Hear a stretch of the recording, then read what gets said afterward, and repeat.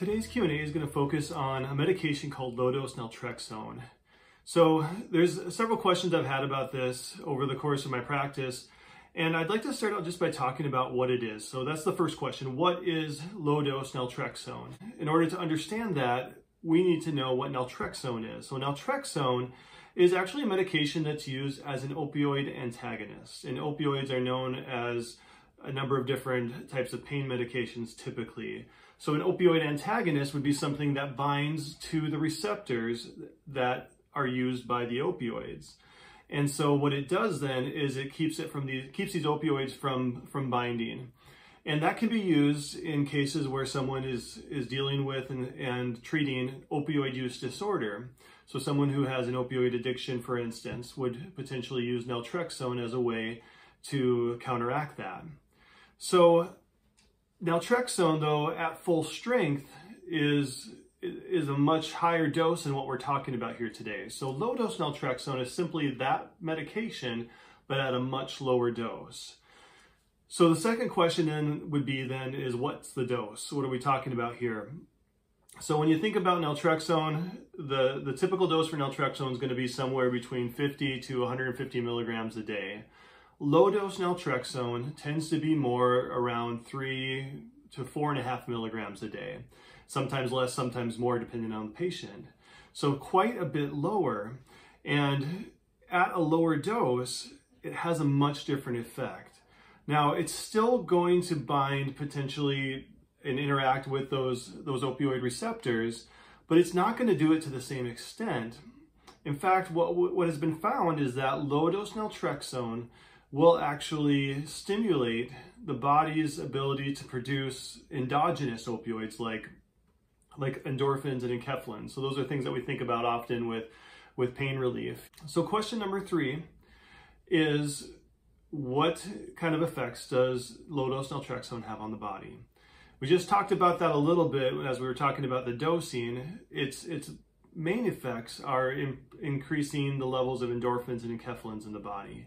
But this has the effect of promoting healing, of inhibiting cell growth, uh, and of reducing inflammation. It also stimulates immune function.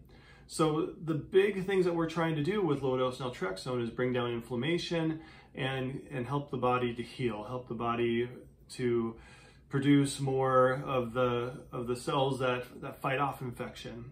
So in a case with someone that, that's dealing with chronic Lyme disease, there is definitely a lot of a lot of really helpful things that this medication can do.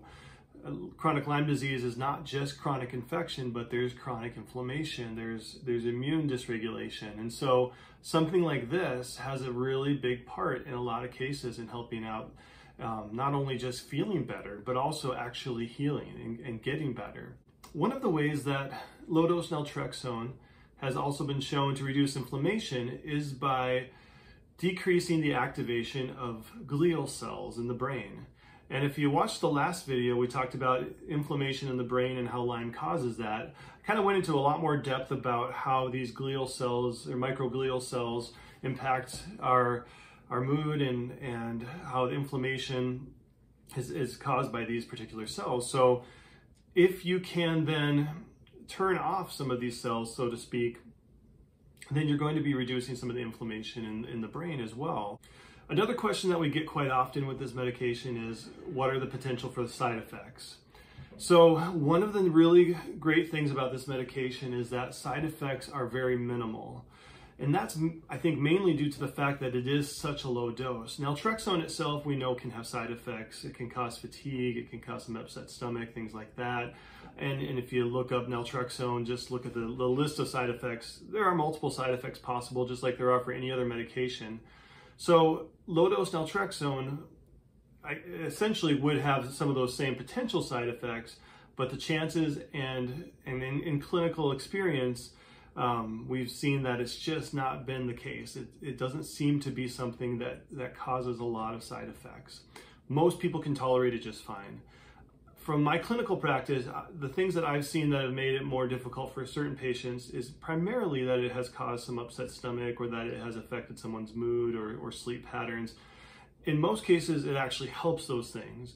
but there are some times where it does the opposite of what we're looking for there. So the, the good news is, is that if you stop the medication, the half-life is not very long and that it will be out of your system very quickly and those side effects dissipate as well.